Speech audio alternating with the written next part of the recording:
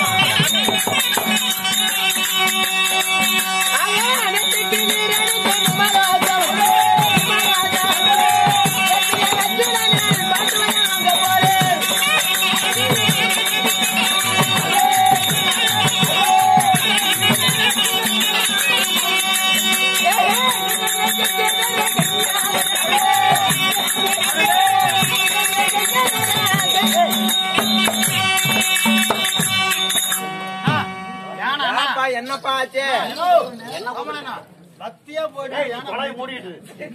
இருக்கிறேன். என்ன கூத்துல பாடுன? ஆடாத அருங்கூத்து ஆடினாலும் அர்ஜுனன் தபசுக்கு நாடு. காது கேட்க ஆடாத அருங்கூத்து ஆடினாலும் அர்ஜுன தவசு நாடகத்துக்கு ஈடு எதுவுமே கிடையாது. அப்படியேப்பட்ட பக்தி மிக்க நாடகம்.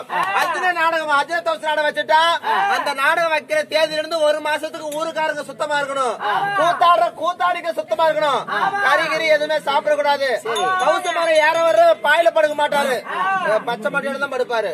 அவ்வளவு ஒரு சுத்தமா பக்தியா இருக்கக்கூடிய நாடகம்னா இந்த பாடுனது யாரு இதுலதான் அர்ஜுன தபசு மரம் ஏறும் போது அருளும் அருளோடு அர்ஜுன நாசகாரர் வந்து பாடக்கூடிய பாட்டு என்ன பாடின பாட்டா இப்ப கடைசியா பாடுனல ஆமா அத மட்டும் பாடு பார்க்கலாம்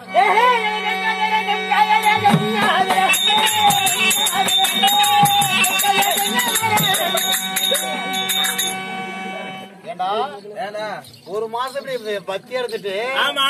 அருள் மருளோட தெங்காதரா தெங்காதரான்னு அண்ணா வாயில வாயில போட்டுக்கணும். என்னடா இப்படி பேசுற? என்னன்னு பாடணும் அண்ணா அதாவது சிவபெருமானுடைய ஒரு பேரு கங்காதரா கௌரி மனோகரான்னு ஒரு பேர் இருக்குது. கங்காதரா. ஆமா. அதனால கங்காதரா கௌரி மனோகரான்னு சொல்லி சொல்லும் போது கங்காதான்னு இப்ப சொல்லும் போது கரெக்டா இருக்குது. ஆமா. பாடும்போது அப்படி கேட்கலையே. என்ன பாடு பாடு,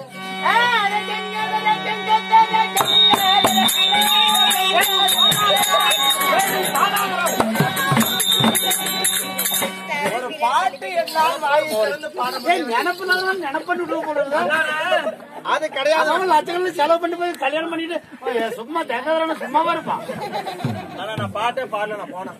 அது விடு என்ன கூத்தாடுறீங்க அண்ணா நாட்டுக்கு நாடு மகா நாடு நமது உள்ளூரை சேர்ந்த ஊர் பொதுமக்கள்.